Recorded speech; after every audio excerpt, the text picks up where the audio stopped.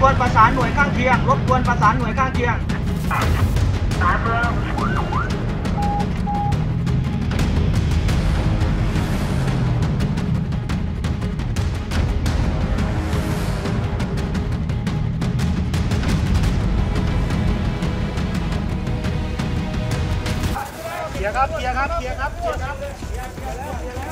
ดูปืนในในรถด้วยปืนมันดูปืน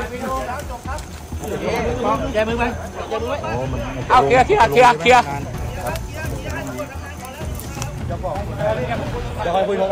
มายืนชี้รถก่อนดิชี้รถก่อน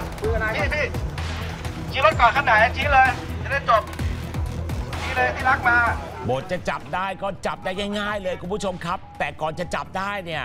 โอ้โหดูสิครับ ขับหนีข้ามจังหวัดน่ะไปขโมยรถกระบะเขามาครับ คือเจ้าของรถกระบะคันนี้นะครับเขาลงไปถอนเงินจากตู้ ATM ในปั๊มน้ำมัน ตรงข้ามกับร้านแมคโดนัลล์บนถนนเพชรเกษมตำบลโคกหม้อจังหวัดราชบุรีครับ แต่คงคิดว่าลงไปแป๊บเดียวอะไม่ได้ดับเครื่องไงคนร้ายเห็นอ้าว หวานหมูเลยครับ ก็เลยกระโดดขึ้นรถกระบะแล้วก็ขับหลบหนีไปบนถนนเพชรเกษม มุ่งหน้าอำเภอโพธาราม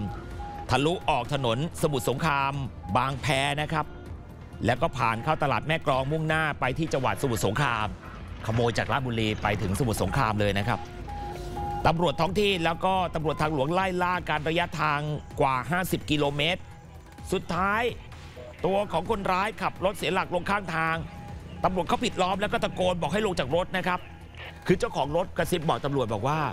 ระวังตัวด้วยนะคุณตำรวจ เพราะว่าในรถเนี่ยผมมีปืนไว้สองกระบอกโอ้เนี่ยครับ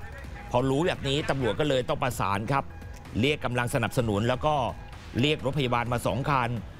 เรียกรถไฟสอสว่างมาอีก 5 คันด้วยกัน หลังจากเกลี้ยกล่อมผ่านโทรโขงประมาณครึ่งชั่วโมงได้อะทีนี้คนร้ายยอมลงจากรถมามอบตัวครับ ชื่อว่านายเอกชัยอายุ 47 เป็นชาวจังหวัดราชบุรีระหว่างขับรถหนีนี่ยังเอาสร้อยคอทองคำหนัก 10 บาทนะครับ พร้อมพระเลี่ยมทองของเจ้าของรถเนี่ยมาคล้องคอด้วย แล้วตำรวจก็เห็นปืนด้วยนะ แต่โชคดีที่ไม่ได้ยิงสวนตำรวจกลับมานะครับ นายเอกชัยก็ให้การกับตำรวจบอกว่า โอ้ยคุณตำรวจ ผมนี่ป่วยเป็นวัณโรคนะ อยู่คนเดียวไม่มีรายได้ไม่มีข้าวกิน ก็เลยตัดสินใจก่อเหตุ เพราะว่าคิดว่าถ้าโดนจับเนี่ยก็ต้องเข้าไปติดคุก แล้วคุกเนี่ยมีข้าวให้กิน3มื้อ ทุกวันนี้ผมแทบจะไม่ได้มีข้าวกินด้วยซ้ำนะ แบบอดมื้อกินมื้อไปฟังเสียงเขาเล่านิดนึงครับ ไม่มีข้าวกินกินแต่ยาแก้รักษามันก็ผอมก็ไม่มีแรงทำไงงั้นเขางานเงินเราก็ไม่ได้ทพวกเป็นวันรู้ใครรับอะแล้วก็อีกอย่างคือผมเลยคิดว่าถ้าถ้านั้นคือก็คือไปอยู่ข้างในดีกว่ายังไงก็มีข้าวกินำอะไรนะไปอยู่อะไรนะไปอยู่ข้างในยังไงก็มีข้าวกินอ๋อนี่นี่คือความคิดของผมอ๋อโอ้นี่บอกว่าอยากติดคุกดีกว่านะครับ สุดท้ายตำรวจตรวจสอบในรถของเจ้าของแล้วฮะ ไม่มีอะไรสูญหายไป โอ้โหดู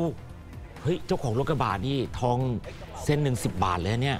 แต่ไอ้เรื่องที่มีปืนสองกระบอกอยู่ในรถเนี่ย เดี๋ยวเจ้าของรถต้องตอบตำรวจให้ได้นะครับเอันสุดท้ายตำรวจก็คุมตัวนะครับ หนุ่มคนนี้เข้าคุกตามที่ต้องการเรียบร้อยแล้วครับ